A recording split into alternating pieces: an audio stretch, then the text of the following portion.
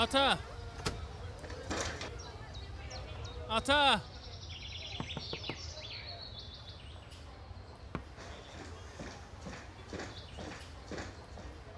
Ata! Ana, xoş gördük ana. Gəl ay oğul, gəl. Şad xəbərim var. Hoş geldin ayol. Buyur ana. Ata, bu gün həyatımın ən sevinçli günüdür. Ata, demişdim sizi sevindirəcəm. Demiştin. Bax ata, oğlum bu gün klassik gimnaziyanı əla qiymətlərlə bitirir. Uy Allaha şükür ay bala. Allaha şükür. Ana, amma sizi sevindirəcək başqa bir şad xəbərim də var. Ne haber? Görün bu gün Bakıdan mənə nə sənə gəlib. Görün. Hacı Zeynalabdin məni öz yardımı ilə Rusetdə oxuturacaq. Maşallah. Uy Allah ona kömək olsun. Allah ay kişi onun başından tük tük de töksün. Amin arvad, Allah amin. ona kömək olsun ay bala. Amin amin. Ana, inanırsan, oğlun Moskva Tibb Universitetinin tələbəsi olacaq. Sizə söz verirəm. Universiteti bitirəndən sonra Gəncədə doktor Həsən bəy bizim oğlumuzdur deyib fəxr eləyəcəksiniz. Arvad gözün aydın Arvad. Gel bir sen öpüm oğlum. Maşallah. Sağ ol Tebrik ata. ederim oğul. Halal olsun. Halal olsun sana oğlum. Vaxt gələcək bu gənc, haqlı olaraq millət atası adlandırılan Hacı Zeynalabdin Tağıyevin maddi və mənəvi köməkliyi ilə ali təhsil alıb vətənə dönəcək. Öncə Hacının toxuculuq fabrikində, daha sonra isə onun açdığı qız məktəbində həkimlik etməyə başlayacaq. Seyid xəstəxanası kimi məşhurlaşan müalicəxanada çalışacaq. Qısa müddətdə doktor Həsən bəy Ağayev kimi bütün Azərbaycana səsini duyuracaq.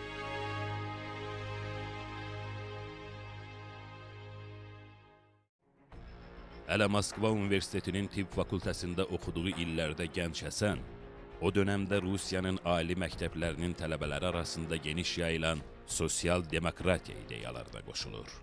İctimai baxımdan fəal tələbələrin əksəriyyətinin bu siyasi görüşlərə yoluxduğu zamanda Həsən bəy də onlardan geri qalmır. O da sosial demokratlara qoşulur. Tələbə siyasi dərnəklərinin fəallarından olur. Həsən bəy Ağayev də təbii ki, Moskva Tibb Universitetində oxuyan, e, Moskva Universitetinin tibb fakültəsində oxuyanda bu məsələlərdən kənarda qala bilməzdi. O zamanki dövrdə rusların, Rus hakimiyyət orqanlarının belə desək, çox təhlükəli hesab etdiyi sosial demokrat ideologiyasına qoşulmuşdu. O zamanki dövrdə Moskvada iki dənə Moskva Universitetində iki cəmiyyət vardı. Bunlardan da biri Druziya Atəçistva deyilən bir cəmiyyət idi. Həsən bəy Ağayev də həmin cəmiyyətin dərnəklərinin birinin üzvü idi və belə desək, öndə gedən nümayəndələrindən biri idi. Bu sosial demokrat motivləri, onun düşüncələrində olan bu motivlər düz 1912-ci ildə elə qədər, yəni Gəncəyə köçüb burada fəaliyyət göstərənə qədər davam etmişdi. Çox maraqlı bir hadisə olub. O e, institutu bitirəndən sonra e, uşaqlar kim ki qutarmışdı, Azərbaycandan olanda insanlar var idi. Getmişdilər onlar qaraçıların yanına. Və bir qaraçı fallarına baxırdı. Qardaşlar, şükür bu günə universiteti bitirdik. Həsən düz deyir. Bizim çətin günlərimiz hələ vətənə qayıtdıqdan sonra başlayacaq. Problemlər o qədərdir ki, nədən başlayıb nədən qurtaracağımı bilmirəm. Bilmirəm, həkimlik sənətinə yiyələnib xəstəmi sağaldacağam, yoxsa vətənin digər dərdlərinə görə tər tökəcəm. Əfəndim, doğru buyurursan. Bu gün vətənimizin dərdi böyükdür. Amma məndən soruşsanız, mən deyərdim ki, ilk növbədə savadsızlıqla mübarizədən başlamalıyıq. Millətin özünü dərkinə təkan verməli. Düz deyir. Bu nə qədər çətin olsa da alnımıza yazılan budur. Gənclər, söhbətinizin şirin yerində sizə mane olmaq istəyirəm. Gəl bir falımıza bax gör başımıza nə gələcək. Elə məndən başla.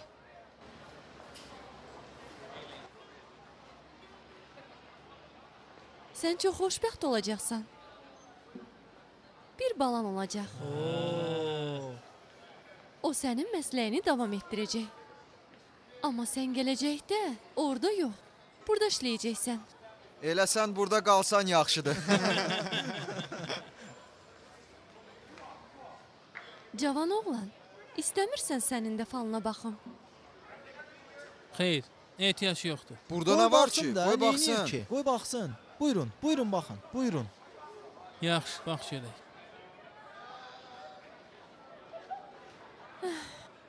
Sən gözəl bir zadəgan xanıma rast gələcəksən. Oo. Özü də çox xoşbəxt bir ailən olacaq. Yaxşıdır, yaxşıdır. Üstəlik, üç evladın olacaq. Bayaqdan baxdırmaq istəmirdin. Görürsən, səni nə gözəl həyat gözləyir. Görsən? Hökumət pilləkəni ilə zirvələrə qalxacaqsan. Özü də lap zirvələrə. Lap zirvəyə.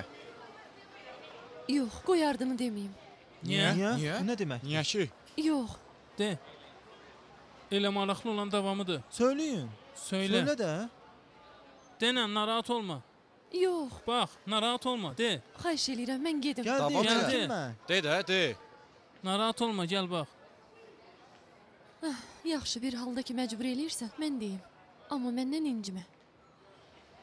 45 yaşına çatanda sən öləcəksən. Nə deyir ə bu? Amma öz əcəlinlə ölməyəcəksən. Səni öldürəcəklər. Ay səni. Bunu Ay öldürəcəklər. səni. Yetər xanım. Buracan bəsdir. Mən sadə həkim adamam. Mənim həyatımda nə məqam, nə kreslo ola bilər ki? Həm mən insanları incitmərəm ki, onlar məni öldürsünlər. Ə şifaldır da, fikir vermə. Dedi də. Ay səni.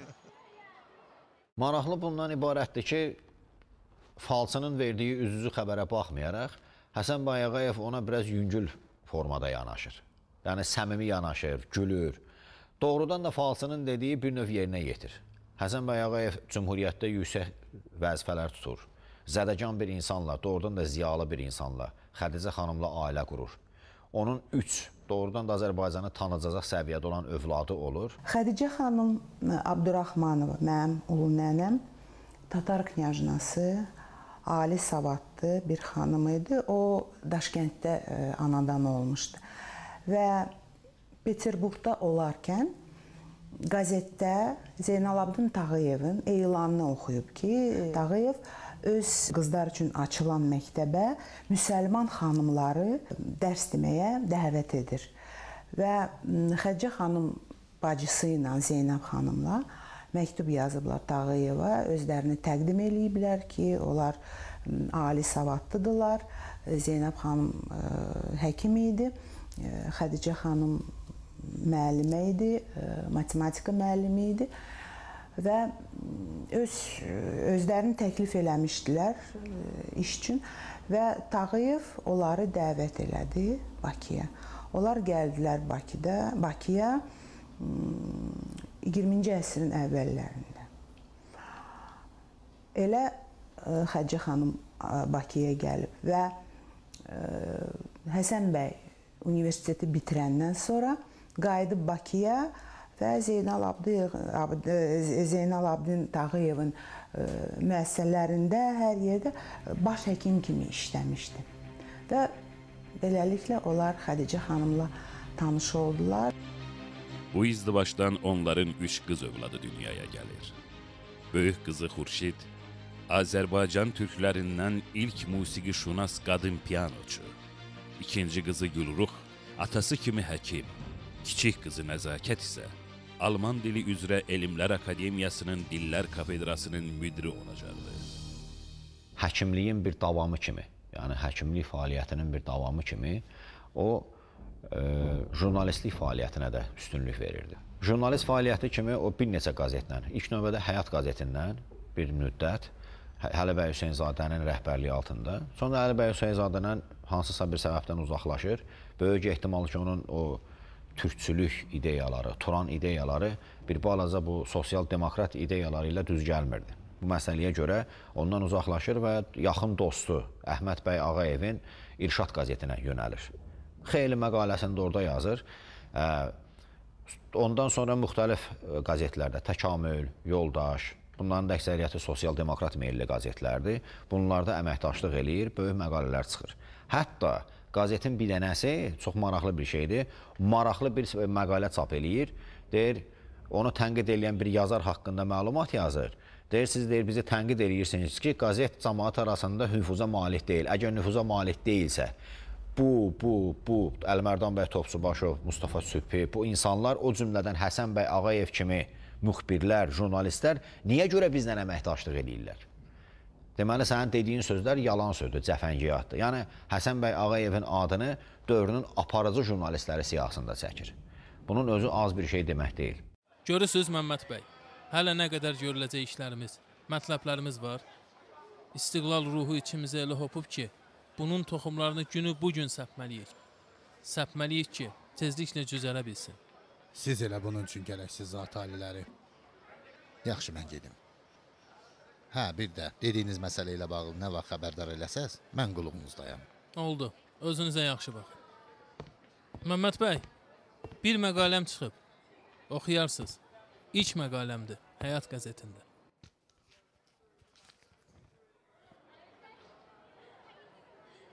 Hifsi bədən bəyanında. Müsəlmanların savadsızlığından, xəstəlikləri müasir tibbi yolla deyil, dolayı, qustar üsulla müalicə etmələrindən və bunun ağır fəsadlarından söz açmısınız. Dəyərli məqalədir. Yaymaq lazımdır. Bu cəhətdən mən özümə borc bilirəm ki, Həyat ruznaməsinin səhifələrində cürbəcür misri azarların bəyanında bir neçə söz söyləyim. Və hərgah oxucuların yüzdən onu mənim sözlərimə etiqad edib qəbul etsələr, mən özümü xoşbəxtlərin xoşbəxti hesab edərəm. Çox sağ olun. Sağ salamat.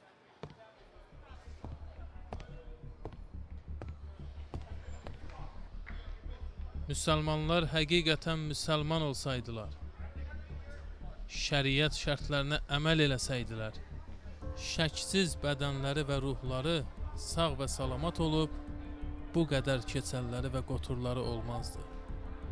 Pulları havayı yerə getməzdi.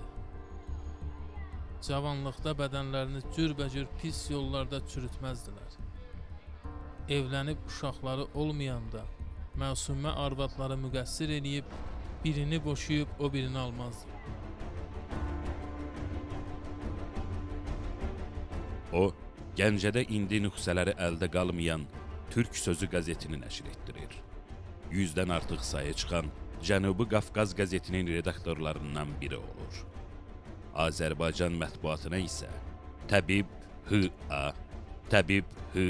Ağayev, Təbib Həsən Ağayev, Təbib Həsən bəy Ağayev, Təbib Həsən Ağayev Gəncəli H.A, Həsən bəy Ağayev imzaları ilə möhürünü qoyur.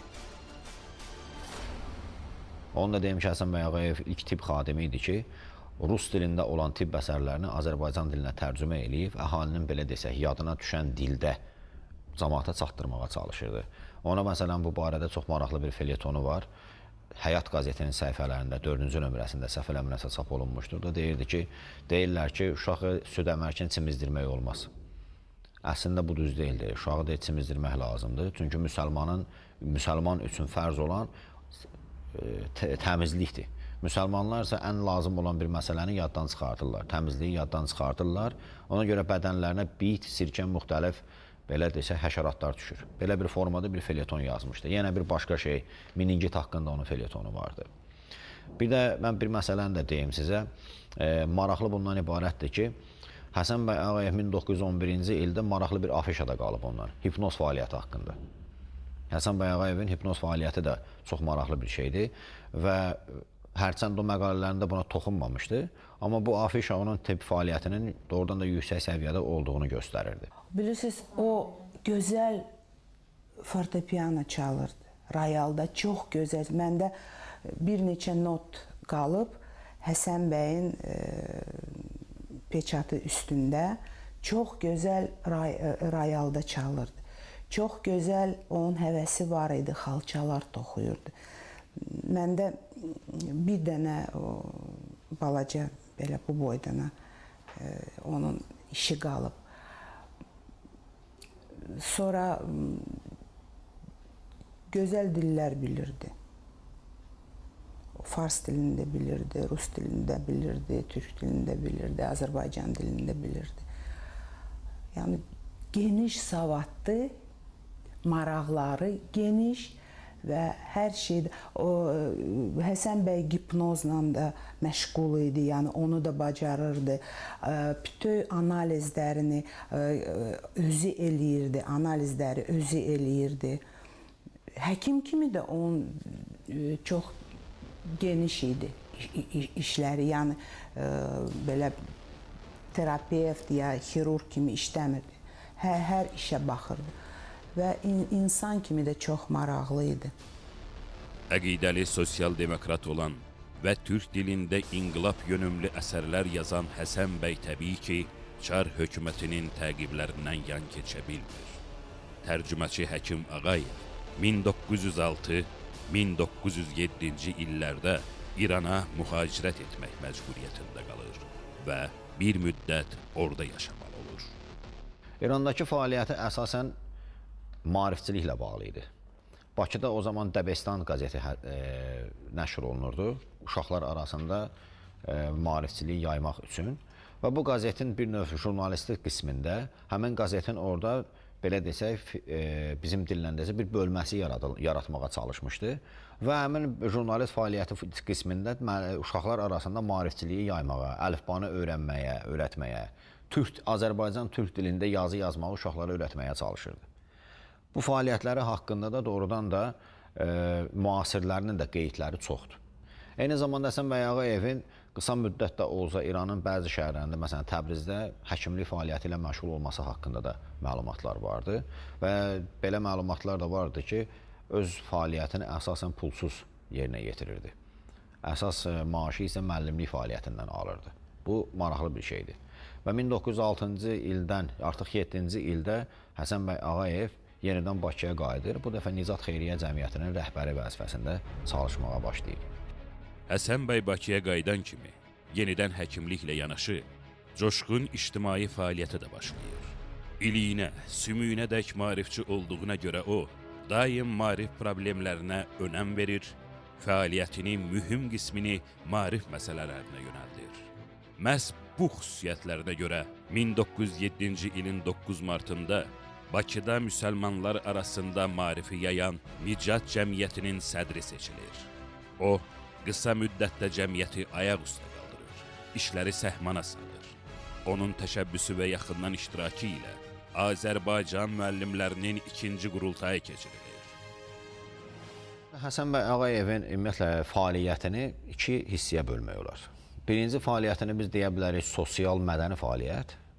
Lakin 1900 Gəncəyə gəldikdən sonrakı fəaliyyətinə isə biz deyə bilərik sosial, siyasi, mədəni fəaliyyət. Daha doğrusu siyasi motivlərin yavaş-yavaş üstünlük təşkil etdiyi fəaliyyət.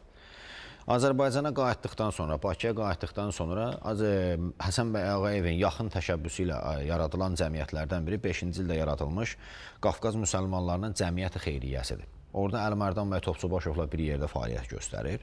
1907-ci ildən sonra isə fəaliyyət artıq ikinci bir hissəyə Nicat cəmiyyətinə keçir. Nicat cəmiyyəti o zamanki dövrdə çox varlı bir cəmiyyət idi və böyük e, burjua rəhbərlərimiz, milli burjualarımız, ziyalılarımız bu cəmiyyətin üzvü idi. Həsən bəyin dövründə bu cəmiyyət xeyli teatrlara, xeyli qəzetlərə, hətta belə desək, onun ideoloji düşüncəsinə uyğun gəlməyən qəzetlərə də fəaliyyətdə yardım eləyirdi. Gəncənin özündə birinci Həsən bəy Ağayevin elə özünün yoldaşı Xədicə xanım Ağayeva müqəddəs Nina qız xanımların xeyriyyə cəmiyyətinin əsasını qoyur. Cəlil Məmmədquluzadənin yoldaşı həm də xanım Zavanşirlə bir yerdə Tiflisdə bunun əsasını qoyur, sonra da Gəncədə yaradır. Həsən bəy Ağayevin özü isə Gəncə tibb cəmiyyətinin əsasını qoyur. Yəni xalqın sağlamlığına xidmət edən bir cəmiyyətin əsasını qoyur. Bu az bir şey deyil. Tale elə gətirir ki, doktor Həsən bəy həm də ictimai siyasi fəaliyyətə başlayır. Bir zamanlar Difai Özünü Müdafiə Partiyasının simalarından olan Həsən bəy 1917-ci ildə Rusiyada fevral burja inqilabı baş verən zaman Gəncədə Şəfi bəy Rüstəmbəyli, Xəlil bəy Xasməmmədli, Şeyx Zamanlı qardaşları və başqaları ilə Nəsib bəy Yusifbəylinin rəhbərliyi altında Türk Ədəmi Mərkəziyyət firqəsinin əsasını qoyanlardan biri olur. Onun gələcək siyasi həyatında isə ən mühüm rollardan birini Zaqafqaziya Seymindəki fəaliyyəti tutur. Həsən bəy Ağayevin Zaqafqaziya Seymindəki fəaliyyəti çox ziddiyyətli bir fəaliyyətdir. Həm Burada bir məsələ idi ki, Həsən bəyin e, başı Gəncədəki proseslərə qarışdığına görə Seymin iclaslarında o qədər də fəal iştirak edə bilmirdi. Bu birinci məsələdir. İkinci məsələ ondan ibarət idi ki, müsəlman deputatları Gürcü və erməni deputat nümayəndə heyəti daima sıxışdırırdılar. Üçüncü məsələ o idi ki, Həsən bəy Ağayev Seymdəki fəaliyyəti daha çox müsəlmanlara qarşı törədilən ədalətsizliklərlə bağlı idi.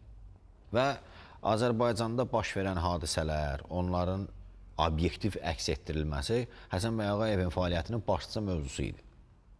Maraqlı bundan ibarətdir ki, Zaqafqaziya Seymindəki müsəlman firqəsinə qarşı münasibət Həsən bəyin fəaliyyətində özünü göstərdi. Misal üçün, orada bir maraqlı hadisə olur. Zaqafqaziya Seyminin son bir iclaslarının birində Həsən bəy Ağayevi işdən azad eləyirlər, götürüb Qafqaz tədris dairəsinə müdir göndərirlər. Həsən bəy Ağayev bu barədə çox kinayə ilə yazırdı ki, mən belə bir siyasəti deyir, heç cürə başa düşə bilmədim.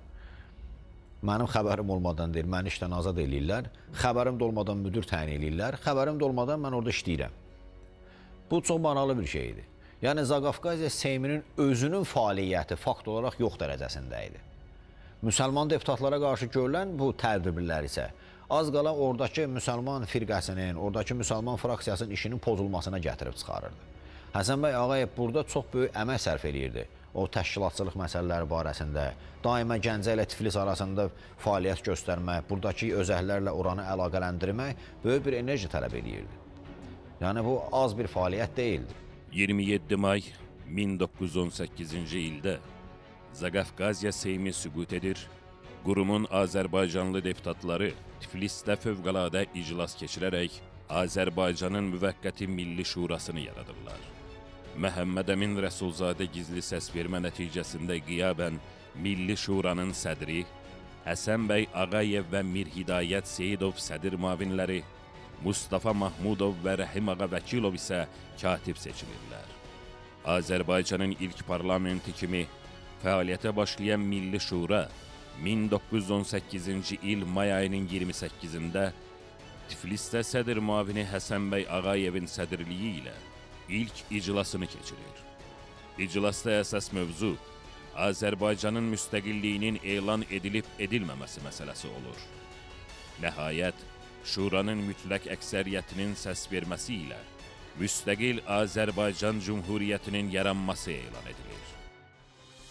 Azərbaycan Cümhuriyyəti elan edilsə də, Gəncədə onun hökuməti fəaliyyət göstərsə də, bu dövlətin Azərbaycan ərazisində hökmranlığı yalnız Nuru Paşanın komandanlığı altında Bakının 15 sentyabr 1918-ci ildə Daşnak bolşevik işğalçılarından təmizlənməsindən sonra mümkün olur. Dekabr ayının 5-də Azərbaycan Cümhuriyyəti Məclisi Məbusanı parlament açılır.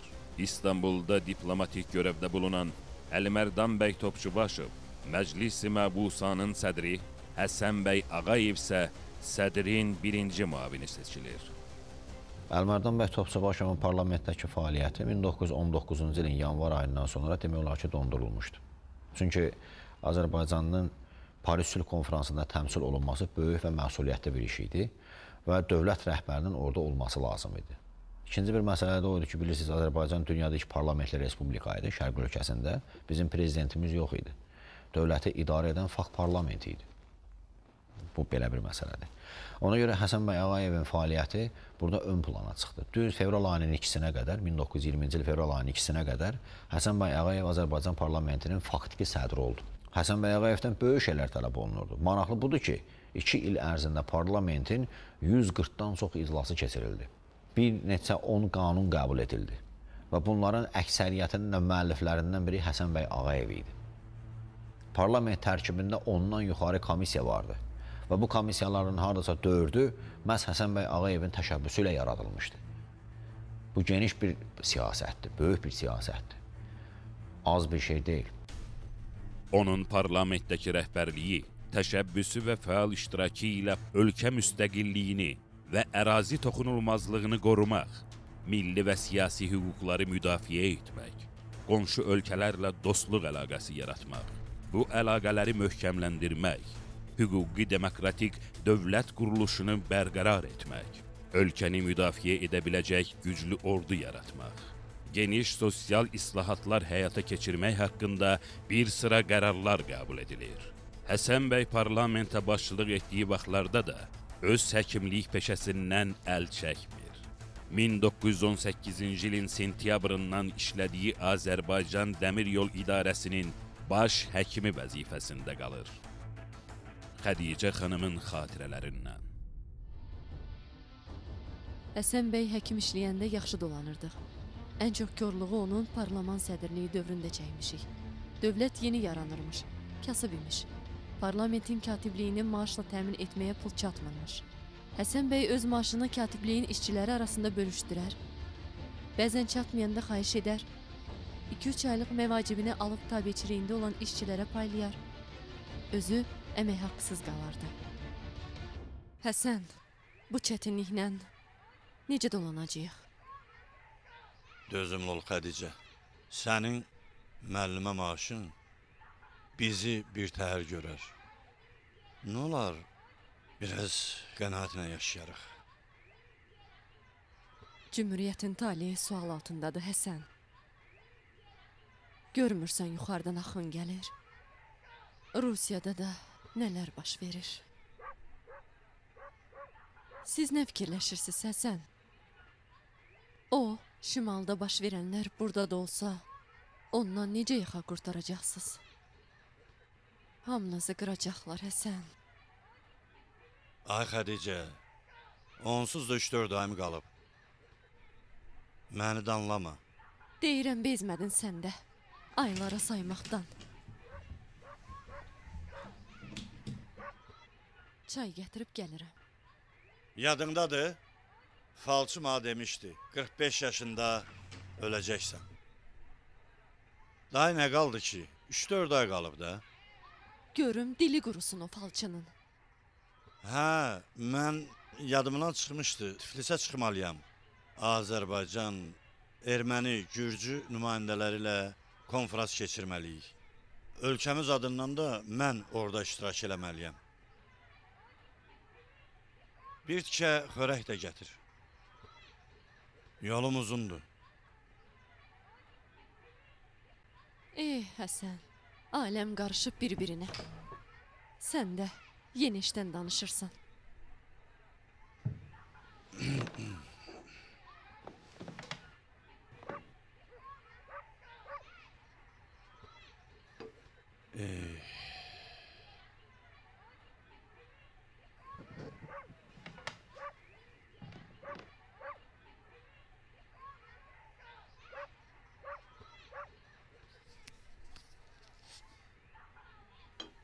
Biz bu pulla necə dolanacağıq Həsən?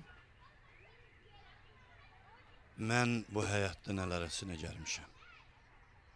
Falçının dediyi kimi oldu, gördün? İndi mən dövlətdə ən yüksək vəzifədə otururam. Bu qara buludlar da başımızın üstündən keçər. Narahat olma. Səbirli ol. Hər şey keçib gedəcək.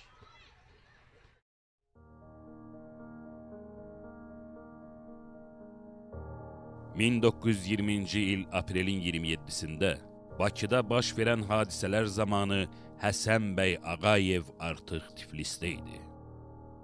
İstefa verəndən sonra o ə, Nərimanova məktub yazmışdı ki, mən ə, siyasətdən uzaqlaşıram, ancaq mən həkiməm və mən həkim kimi fəaliyyətimi ə, istəyirəm ə, həkimliklə məşğul olum. Və Nərimanov ona məktub yazır ki, nəinki Azərbaycanda qalmaq. Sən gərək Azərbaycandan gedəsən. Mütləq. Və Həsən bəy qərara gəlir Türkiyəyə getmək. Belə bir cavab qısa və biraz da həyəcanlı cavab Nərim elə bilir ki, Həsən bəy Ağayeva ayıldır. Və vəziyyətin nə dərəcədə dəhşətli olduğunu, nə dərəcədə təcil olduğunu elə bil indi dərk eləyir.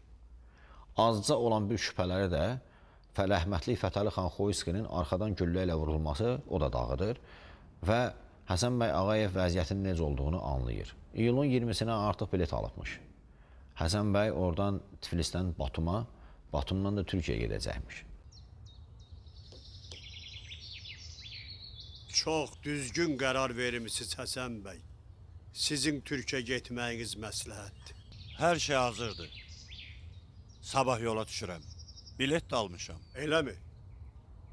Onda mən sizin üçün bir boğça hazırlamışam. Onu ol. gəlim.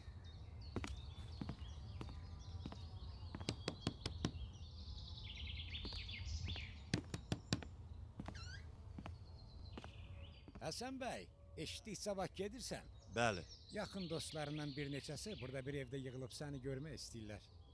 İndi əynimi geyinib gəlirəm.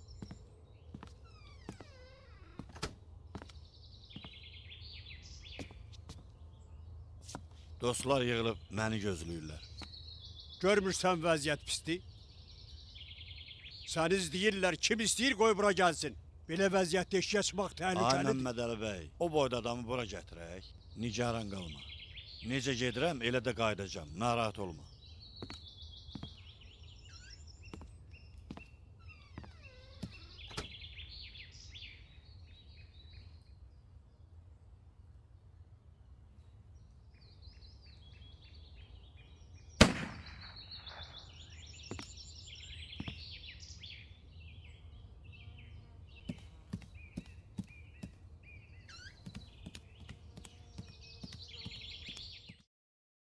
Və qaydanda qapının zəngini basanda arxadan onun başından güllə, güllə ilə öldürüblər. Həsən bəy Ağayevin vurulmasının iki səbəbi vardı. Bu məsələ iki məsələ ilə bağlı idi. Birincisi mart ayında Tiflisdə fəaliyyətə başlayan Əskəran Qarabağ müharibəsinə aid olan iki tərəfli Erməni-Azərbaycan danışıqları ilə bağlı idi.